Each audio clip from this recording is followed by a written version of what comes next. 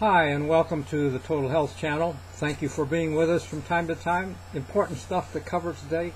Let's ask God's blessing on our time together as we bow.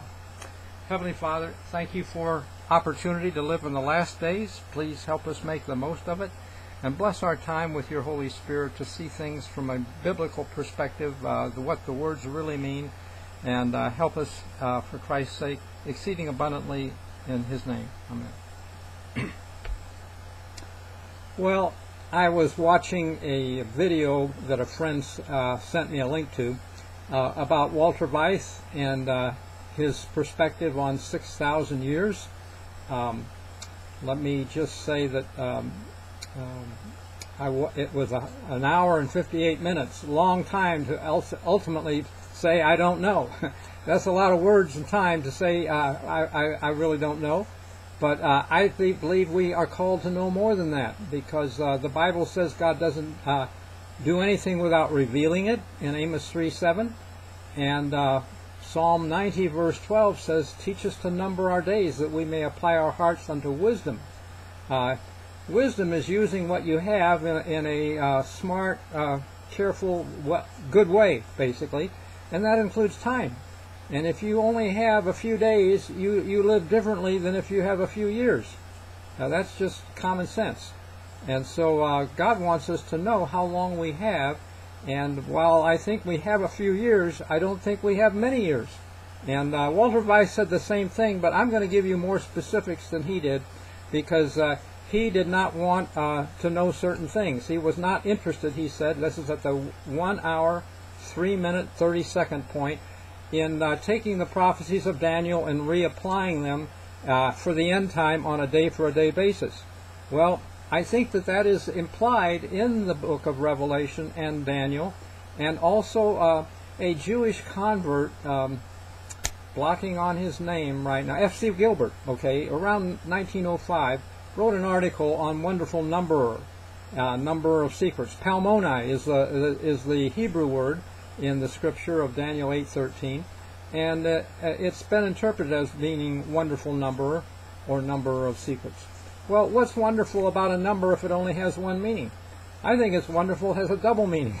It has 2300 years in Daniel 8:14 from 457 BC, the decree to rebuild Jerusalem until 1844 for a time of the dead that they should be judged. That's Revelation 11:18 investigative judgment. Adventists look at that so that when Christ comes in the sky, he knows who he's going to give what to. You know, it's all been looked over carefully, and uh, he knows who are his. But um, uh, it also can mean wonderful number.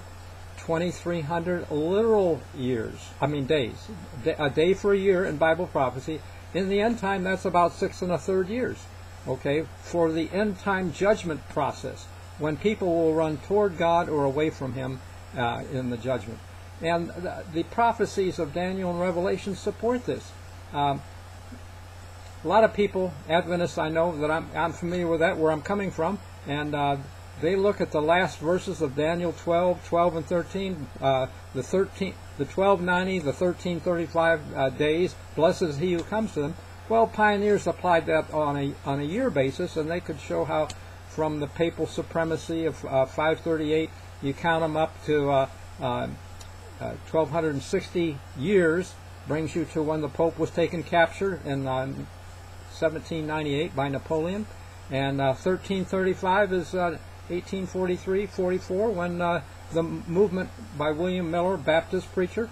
But they missed a few things. They, they didn't get it right fully, and Christ said in Revelation 10 11, You must prophesy again.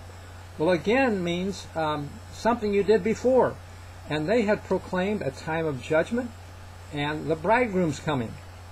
They misunderstood uh, the bridegroom's coming as a quick snatch, a rapture to heaven. Not going to be that way, and uh, that's what we can understand now, but also time of judgment. And we are coming to a time of judgment. If we must prophesy again, we need to understand that it's not just looking over the books in heaven, it's execution of judgment. That's what the last seven years are about. Life and death issues with uh, as as in the book of Daniel, Christ said, "Study Daniel." Well, first six chapters are life and death issues for him and his friends, and so um, we need to uh, give a warning, okay?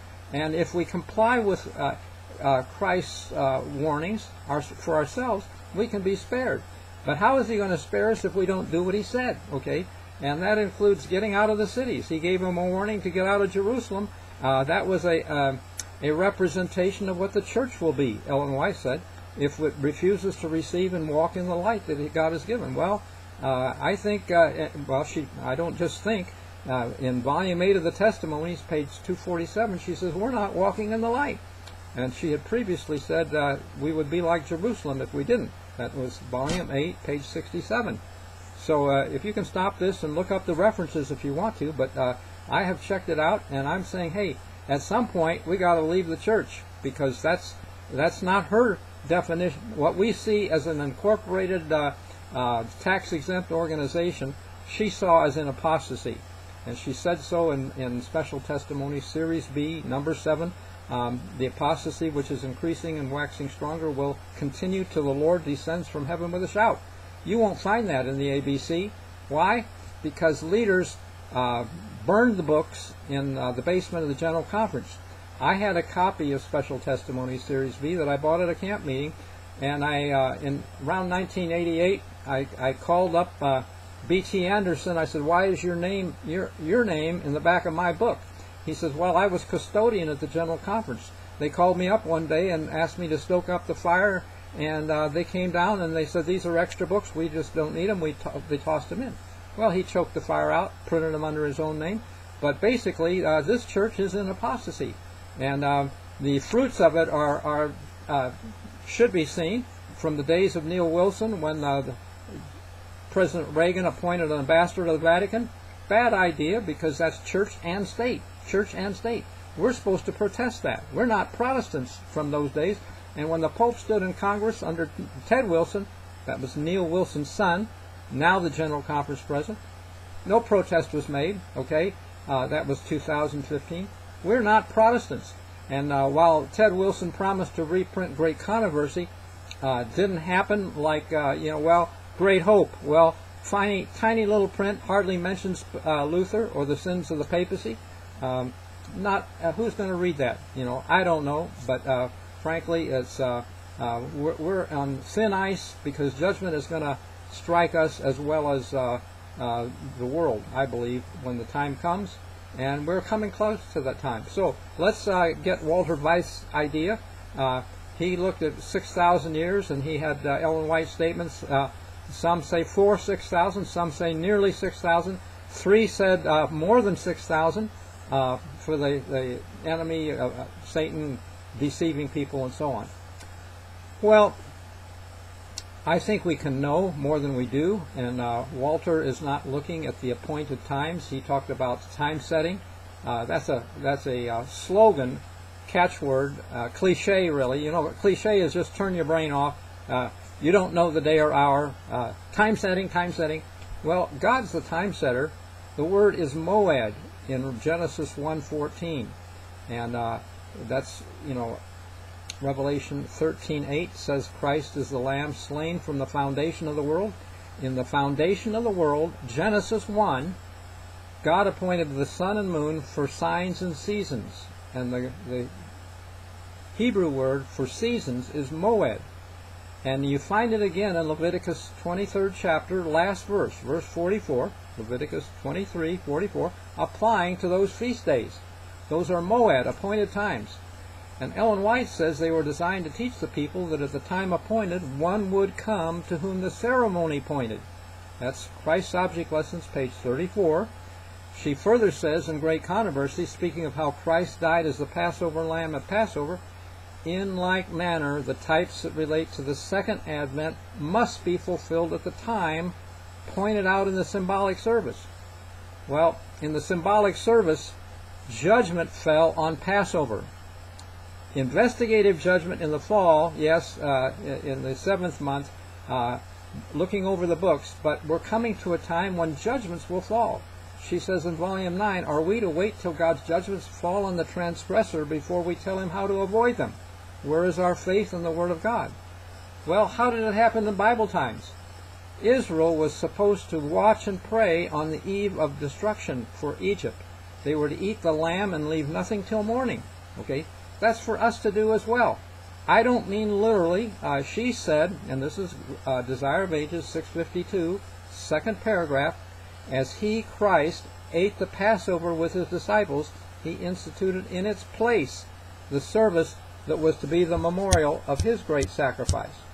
Well, if we uh, did the Lord's Supper in place of Passover, we would be doing it at that time. Okay, that's an appointed time. That's how we would do it with the uh, tokens of bread and, and uh, grape juice. So uh, that's what I plan to do. And uh, if we think that uh, it doesn't make any sense, uh, we just need to relook at the Bible because the, the little horn power was what thought to change times and laws, and, and they included the festi- what they called Jewish festivals. Well, sorry, God didn't call them Jewish festivals. He said, These are my feasts. And in that chapter of Leviticus 23, they are enforced by statutes forever. Well, did we think that God forgot Christ was going to die on the cross? They'd be nailed to the cross? I don't think so. I think we just need to make a, a different application to them, like the Lord's Supper, instead of killing a lamb. Uh, we don't have to do sacrifices. He fulfilled the sacrificial part, but the time of judgment is still for us. And uh, otherwise, how do we do what Ellen White said to do? In uh, four Bible commentary, 1180, 84, I believe it is, the last paragraph on the page, on Malachi, uh, it's a commentary on Malachi 4. Uh, she says uh, that we are to proclaim with no uncertain sound the message, fear God, give glory to Him, for the time of His judgment is come. Well, let me ask you, how can you proclaim with no uncertain sound the time of judgment when you don't know what it is? You know, hello, uh, we're crazy. You know, if we think we can do what she said, well, we ignore those times. And she said that they, the events will correspond to those appointed times. The times pointed out in the symbolic service. Pointed out or appointed. Okay, that's that's the idea. And uh, we quote certain texts like "No man knows the day or hour." Well, bad. You know, look at those things again. Okay, no man knows the day or hour. The Greek word is eido, means be aware, consider, understand. He was talking to his disciples. They were not aware. They did not understand. And he's saying, uh, you don't, you don't know. Okay, you're, you're not understanding. And each time he said that, he gave an example from the law in Numbers 9, verse 10, 11, and I think it's 9, 11. God knew ahead of time that uh, 9/11 would be big, and what his event is coming is going to be bigger than 9/11. Okay, but it would be like that for us, so we get the idea. Numbers 9, 10, 11.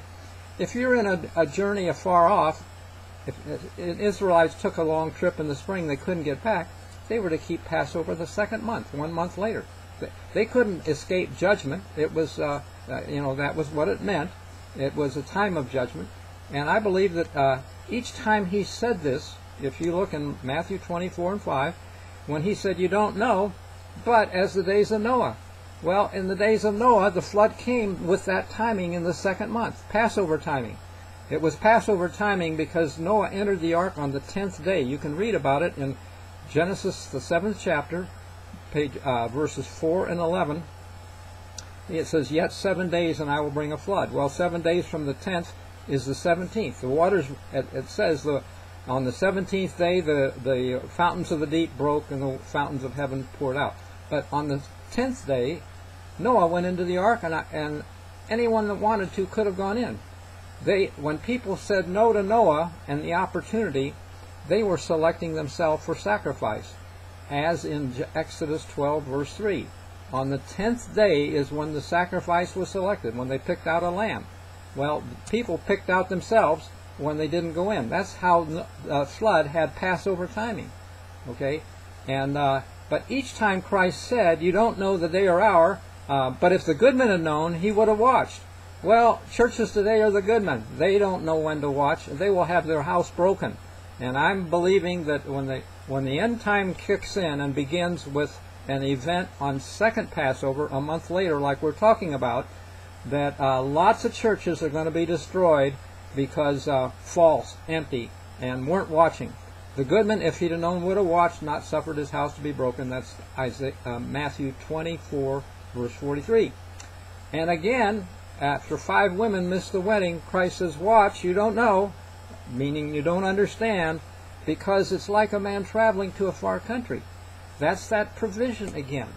So, uh, you know, uh, we are so blind. In fact, uh, you know, it's not just, these are harsh words, but really uh, the true witness in Revelation 3:17 says, You're blind and you're naked. Blind means can't see what's coming. Naked means uh, loins not girded with truth, not ready for what's coming. Okay. So uh, basically, let's wake up and let's uh, understand. And I'd like to encourage you to a, a, a week from this Friday evening, watch and pray with me. It will be second Passover, full moon at that time. I, I saw the uh, the thin crescent in the sky just last Friday night, and uh, it, it was uh, so we're uh, this coming Friday will be one one week, but two weeks into it, on uh, the eve of May two, I I believe. Um, maybe it is this week. Yeah, uh, sorry, it is this week. Watch with me. Time flies, but uh, anyway. How, here's how I keep second Passover. I find I fall asleep if I try to watch and pray. Uh, so I read Desire of Ages, the, the book on Christ's life, closing chapters, Last Supper, pray after the chapter. Read, read about Gethsemane, pray after that chapter. Read about his trial with Annas and Caiaphas, and pray, and pray after. Watch and pray. This is eating the lamb spiritually, a spiritual feast. Invite uh, your Christian friends if you want to uh, share the Lord's Supper, uh, the bread and grape juice, and then uh, read, watch and pray. Uh, I believe that these are rehearsals, mikvah, in, in Hebrew is the word. And uh, God gave Israel a, a system of uh, rehearsals so they could get it. But when the real person came 2,000 years later, um, well, it was actually 1400 from the Exodus. Um, it was around 1400 BC. Uh, they missed the point. Well, we don't have 1400 years. Uh, we we uh, we have only a, a few years, I think, and so let's let's just uh, practice it. The uh, couple verses where it says, uh, "Don't let anybody judge you for keeping these days, for they are a shadow of things to come." But the body, it says, is of Christ. The word "is" is supplied by translators. It fools us. It says, uh, you know, those are just shadows. The substance is Christ. Well, baloney. That's that's they added the word "is." The translation should say don't let anybody judge how you keep them. The body of Christ, the local church, can decide if you want a meal or if you just want the tokens. That's all right. Let the let, but don't let one person tell you. Let the let the group decide. That's how I take it. Okay. Um, but it's a masterpiece of deception by the little horn power and the translators. And uh, another example, a couple more examples I might give. Uh, uh, Galatians 4:10. Oh, the, the God, uh, it was uh, Paul was afraid of the Galatians. He says, "You keep days and months and weeks and years. I'm afraid of you." Well, they were trying to earn their salvation by the works of the law, and they were hair splitters, uh, arguing over this and that and every little nitpicking thing. Um, uh, you can't earn your salvation. It's not the works of the law, but the, uh, the law is nailed to the cross as a means of salvation. So uh, even the moral law is nailed to the cross as a means of salvation. We should keep the moral law. It's a great standard, but uh, uh, we, we are unable to earn our salvation by it. It's a free gift for us. And we should, out of gratitude, say, Lord, thank you. We want to obey. Help us and write your law in our hearts. So that's uh, it in a nutshell. And uh, thank you for considering this.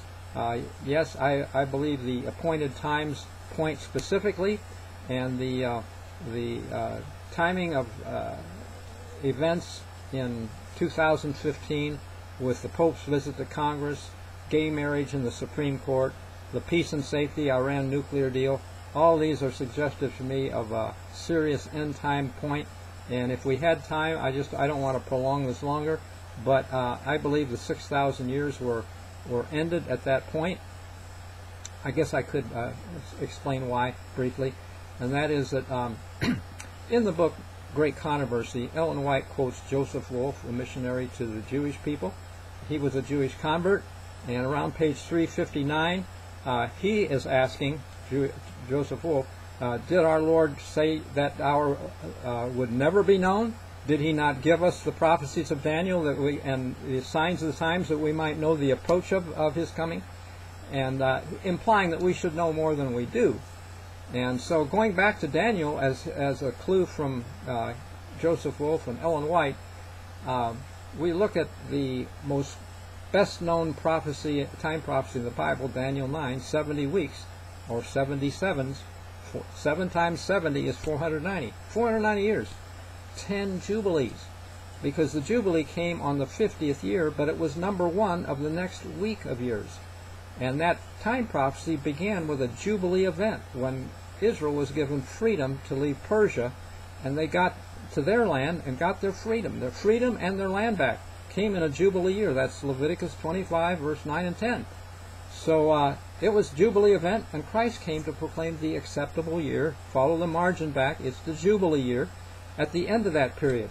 Well, Israel did not uh, receive their Messiah. It didn't turn out to be a Jubilee like um, uh, it could have been.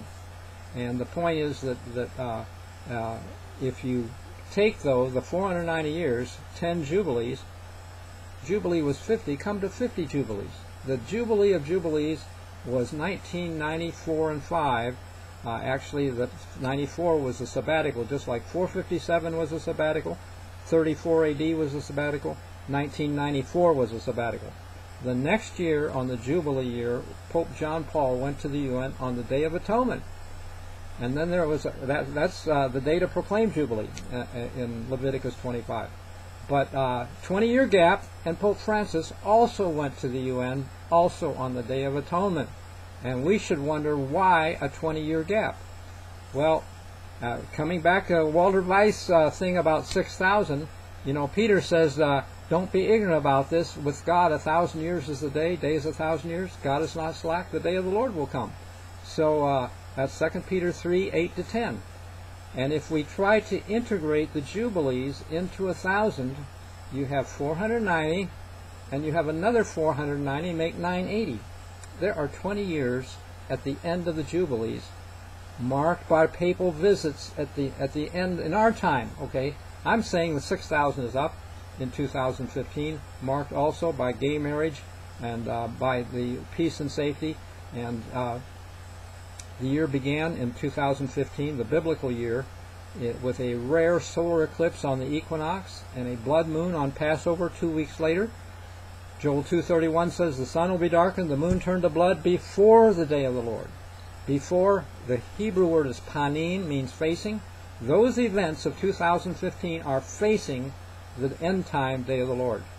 And I believe it's a seven year wait if it had been only a three and a half years, like most uh, Adventists uh, looking for three and a half, you know, the Daniel 12, uh, 12 and 13, blessed is he who comes to the 13, 35 days, uh, then it should have happened um, last year in the spring. Uh, David Gates could have been, should have been right, but nothing happened because it's a seven-year ending. And those things that happened in 2015 are just warnings to get ready. We're not ready. We're uh, most people living in the city, get out for heaven's sake, for Christ's sake, because He said to do it. Or if you wait you know, in Matthew 24 verse 17, if you're on your housetop and see Him coming, uh, don't even go down to get your things out of your house. I know a Presbyterian pastor who carried his backpack ready, so that if he was to leave work, he could meet his wife somewhere else, didn't even have to go home to get his stuff. Okay. Well, we're shamed. Okay and I hate to say it, but uh, sad shape if we don't get a, a change in attitude because uh, God won't do anything without revealing it. Do you know the next verse? That was Amos 3 7. The next verse is The lion has roared, who will not fear? Christ is the lion of Judah. In Joel 3:16, he roars from Jerusalem and the heavens and earth will shake. I think he roars from Jerusalem because the Muslims have taken it. That's Zechariah 14 verse 1 and 2. The day of the Lord comes, and all nations are gathered against Jerusalem to battle. Houses rifled, women ravished, half the city goes into captivity. Then the Lord will go forth to fight against them. And I believe uh, he will roar, and they will get out of there. And I believe that, uh, that um, when we see Jerusalem compassed with armies, that's our signal to prophesy again. God isn't calling us to embarrassment. He's not wanting us to fail. Uh, it's just that we've jumped the gun and uh, with William Miller and, and did things, and yeah, we grew out of that. Uh, let's let's keep learning though. Let's not stay stuck in 1844 about what it, we think it is when we don't know what is coming. Uh, it- we should have a better idea.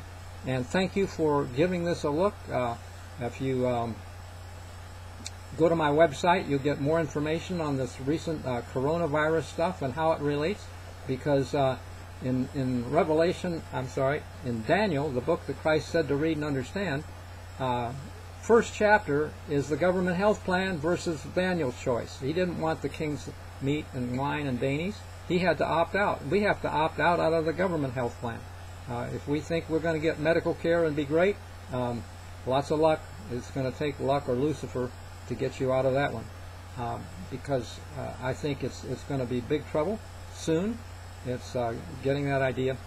Anyhow, uh, and go to my website. I was saying uh, it's three words. Everybody wants health. Everybody wants happiness. Everybody wants destiny. Health, happiness, destiny.com, and uh, read it and um, get further information. God bless you. Look forward to more later. Hey, uh, join me uh, this uh, Friday evening, maybe. Uh, watch and pray. It's the time for. Um, I'm sorry. I think uh, this Friday is the first the first week. Um, I think that it's um, yeah, it's uh, it's two weeks. It'll be the ninth, the eve of the ninth. Not second Passover this week, but uh, we'll talk on uh, uh, free conference call.